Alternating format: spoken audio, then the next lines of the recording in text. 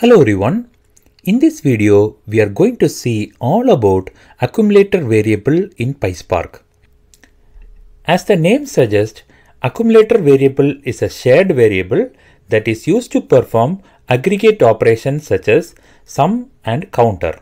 Accumulator variable is shared by all the executors to update and add information.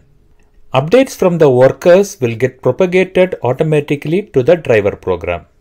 But only the driver program is allowed to access the accumulator variable. As we all know, Spark works in master-slave architecture. That is, there will be one driver node and multiple executors which performs the task. Let's take an example of this data set which is shared across multiple worker nodes. This dataset has the game information where the first column has the home country name and the second column has the host country name and the third column has the number of matches played. This dataset is shared across all the worker nodes. We need to display the number of matches played by India. It can be a match played either in home country or in host country. We can have an accumulator variable in the driver program and update the accumulator variable based on the information received from the executor node.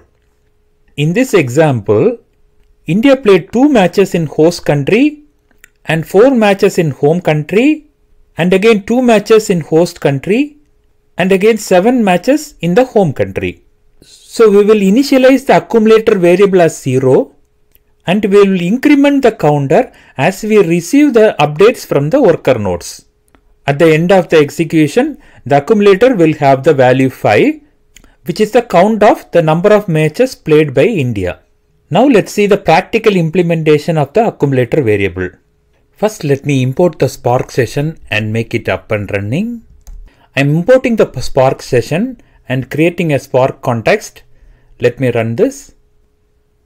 My Spark session is up and running. Now let me initialize my data set which has the game information, which has the home country name, the host country name, and the number of matches played. Let me run this. Now I'm going to create data frame for this data set with the schema home country, host country, and the number of matches. Let me run this. My data frame is created with the three columns home country, host country, and the number of matches.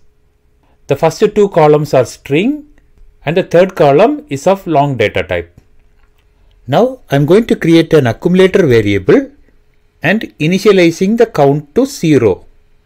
Let me run the accumulator variable. If you see here, the value is initially set to 0. Now I have created a function to increment the accumulator variable.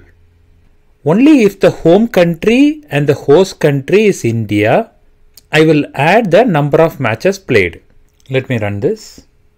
Now using for each action, I am passing each element of the data frame to the counter function. Let me run this. Now I am going to print the value of the accumulator variable. Let me run this. I got the value as 15, which is the total number of matches played by India both in the home country as well as in the host country. I hope this video was very useful and you got a fair idea of what is an accumulator variable.